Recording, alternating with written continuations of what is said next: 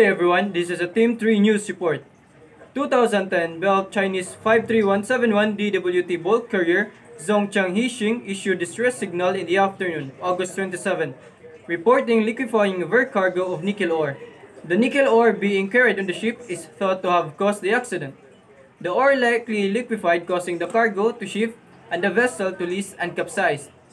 The ship was in East China Sea north of Senkaku Islands, en route from Surigao, Philippines to Lianyungang in China in Yellow Sea. The ship changed course and headed for Chinese coast. She approached mainland in the morning and then turned south in attempt to keep wind and sea at favorable angles. Liquefaction of an ore like this occurs with the moisture level in it is higher than a certain level. The risk of liquefaction is especially great when the cargo like nickel ore is loaded during rainy season. Most cargoes that are likely to undergo liquefaction in the holds of bulk carriers are those that contain sufficient amounts of moisture and fine particles. These are just some of serious incidents that can cause damage to the vessel and that it should be reported with complete information that will be submitted to the International Maritime Organization.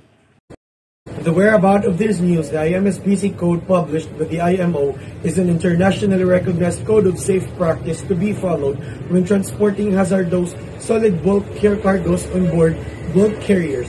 In 2011, the IMSBC code, formerly the Code of Safe Practice for Solid Bulk Cargoes, was made mandatory under the SOLAS Convention.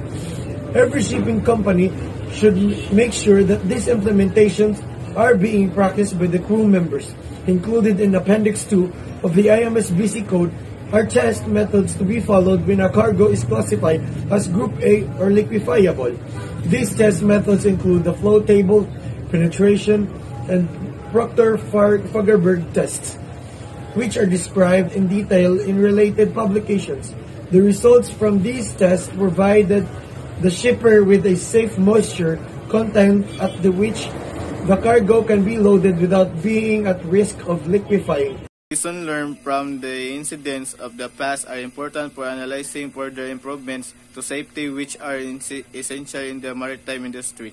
As what happened in the news, some factors are in need of consideration just like how liquefaction of a solid bulk cargoes occurs can cause the vessel to less and occasional capsize. Incidents like this should be given attention and suggestions so that this kind of incidents can be prevented.